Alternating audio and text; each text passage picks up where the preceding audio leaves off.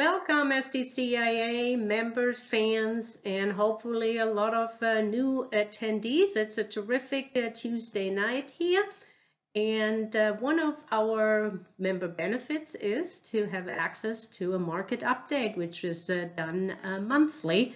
My name is uh, Lenska, and I'm a real estate investor and broker, and also serve on the board of SDCIA. And not to worry, that if you miss anything, um, it will be uploaded. This presentation will be uploaded to the website, or you can find me on uh, YouTube and with many, many other videos. And full disclosure, I'm a real estate broker, mainly working with uh, real estate investors. The US has gone through tremendous turmoil for this year with COVID-19 an unprecedented government mandatory economy shutdown, followed by protests, riots, and looting, so nobody knows what the second half will really bring. But today I'm here to bring you the current market update. Thankfully, California housing and construction was declared essential. So it's now up to the buyer and seller how they will engage in the future process. So we usually assess the market with graphs, stats, and numbers. And we look at what is. I'm not a market timer. I leave this up to Robert Campbell later. And I'm also not an economist, but I am your local realist.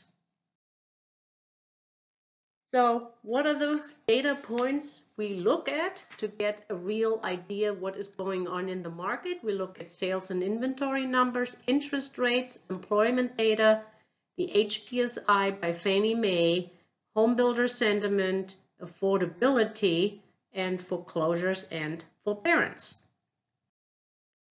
So how do the sales and inventory numbers look for May 2020?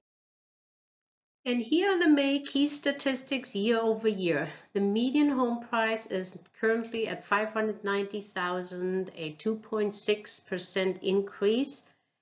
The detached home price is 670,000 at 2.3% and the attached is 435,000 at uh, appreciation in the 6 to 8% or even higher range in the summer months, which then is adjusted down towards uh, the, the winter season.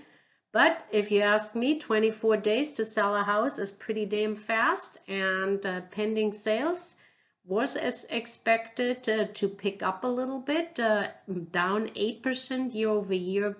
And well, we were down in April 42%, which translated into sold listings uh, of down 50%, which means we we had um, fewer souls, meaning a few escrows fell out of uh, um, uh, uh escrows fell out.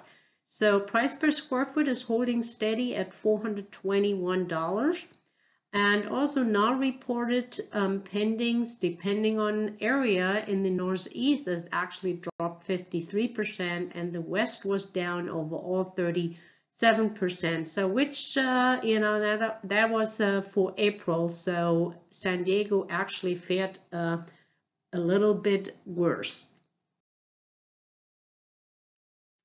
So the detached inventory increased in May a little bit from 1815 to 2,360, but still far off from what we usually see in the spring selling season.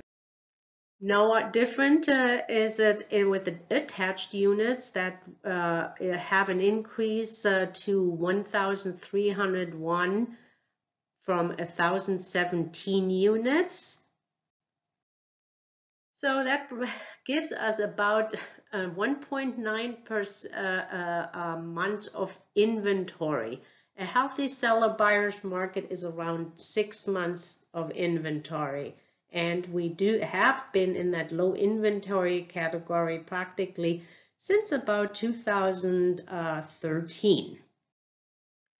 The good news is that the sold price compared to original list price is still coming in at 98%, a little bit down as we can know that we have some uh, price pressure coming up.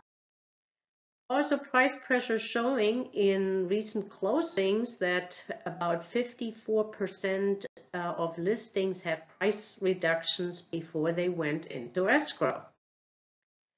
Again, we still have wishful thinking from buyers and sellers. Buyers feeling as though we should get a discount and a lower price right now, but uh, sellers are holding um, steady and firm with their prices, and only 30% were about uh, willing to give a price reduction. Let's take a look at the uh, mortgage interest rates, which low mortgage rates always have encouraged home ownership, but it did reverse to 57% uh, this uh, um, first quarter. Even so, rates show at 30-year fixed uh, and about 3% for VA loans. Rates are currently still at historic lows and driving the real estate market. So even other people think that way. So good news is that purchase applications compared to same uh, week last year had increased and have been increased since we dipped down in um, April um, 8th. But you can't qualify without uh, a job. Let's take a look at employment data. Are you guys ready? It's a graph is worth 30 million jobs, so that's how many we have lost, and probably another 10 and plus for uh, the self-employed and uh, part-timers. So we currently have about uh, probably more like a 25%. Uh, and today we were told we actually got 2.5 million um, jobs back but there is some mystery about how this number is all calculated. But it hit San Diego hard. We still have 25% unemployment as of May 9th, mainly because we do have a large leisure and hospitality um, industry and also wholesale and obviously uh, retail uh, trades. Are these going to be home buyers in the retail trade or um, uh, leisure and hospitality? Probably not. And that's why San Diego has been faring so well. We have a biggest employer, the naval base, San Diego, the University of California, and we have uh, Qualcomm and Scripps Health. And besides all this, we have a lot of uh, technology and life uh, science jobs in San Diego, which are pretty well paid. And people also received a lot of stimulus. So we are not seeing the spending um, of the um, of the unemployment checks and the extra 1200 everybody got. So why are people saving? Are they saving for future spending or maybe a down payment? Or is it just they want to have something in the bank because to prepare for uh, another um, disaster? So it's unheard of, but we have about 30% um, uh, savings rate. And we already thought we are high in March at 13% over um, 8% in February. So here we are.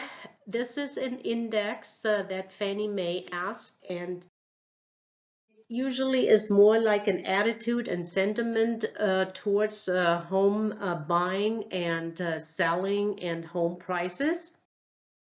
And this month we at least increased about 4%, 4.5% after a dismissal uh, downturn.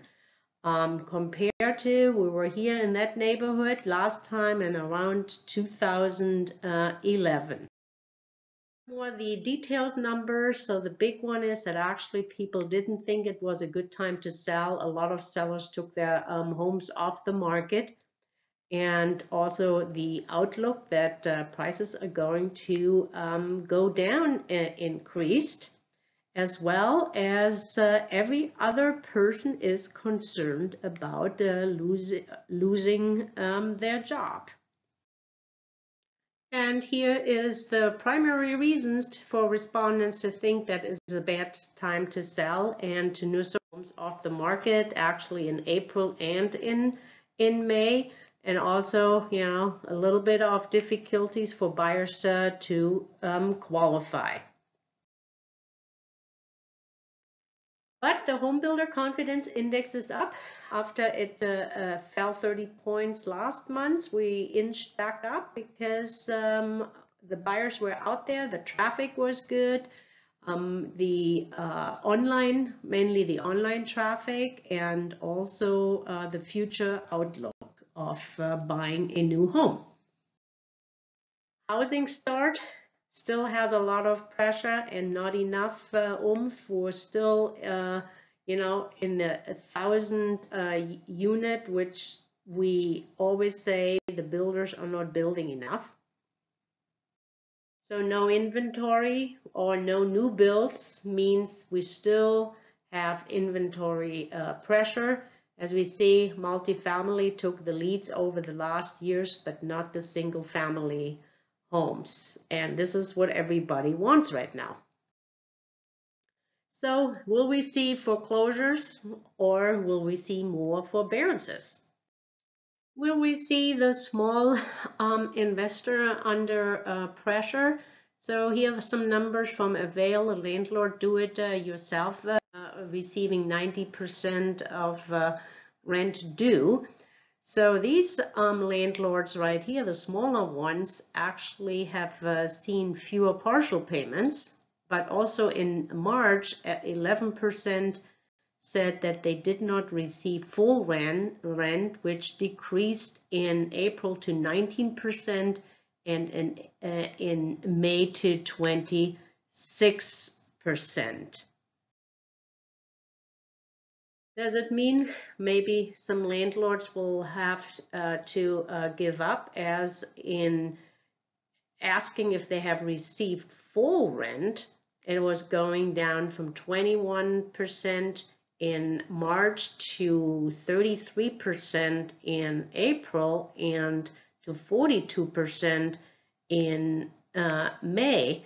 So there were several reasons, but mainly it is because of uh, um, the crisis. And I did uh, ask a couple of property managements here in San Diego, and they said actually rent, uh, uh they collected um, pretty much all uh, the rents, so which might make me believe that handing it over to a property management company might be a wiser choice right now, where you have to follow a lot of rules and regulations. So which means can you file for forbearance if you have an FHA mortgage or uh, GSE backed. Uh, um, also, some private lenders are adhering to the same guidelines. And so one of the new guidelines is that you can, um, for your uh, deferred payments, you can add it as a junior loan to the property and it only comes due if you have a refi or if uh, at the time of uh, sale. So how many mortgages do we have in forbearance? About uh, 9%, uh, and we have seen a flattening of the curve um, since, um, you know, uh, starting in May. But June payments are due, so will we see an, uh, an increase? And some of um, the largest monthly delinquency increases uh, in the cities we have seen in Miami and Las Vegas and New York. And uh, state-wise, we're obviously looking at Nevada and New Jersey and New York. So we can see that um, all these economies that didn't reopen very soon are harder hit. Foreclosures are number of numbers, however, plummeted in April thanks to the foreclosure moratoriums in place due to the COVID-19 uh, pandemic. And if you still want to invest in real estate and don't know where to start, you can uh, join uh, me Saturday, June 20th, where we analyze real estate investments for maximum profit, be it fix and flip or a um, uh, rental in investments, run the numbers. Uh, we have been doing it um, online, but I have not decided if I'm going to do it live or um, online on June 20th. Also, if you like the market update but like to have a little bit more background and uh, the reasons uh, why it takes a little bit longer to explain, so we're taking a deep dive into the numbers and reasons and also the history um, in our Zoom call June 22nd. Um,